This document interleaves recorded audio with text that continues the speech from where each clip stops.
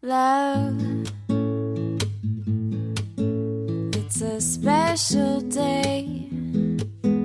We should celebrate and appreciate that you and me found something pretty neat. And I know some say this day is arbitrary.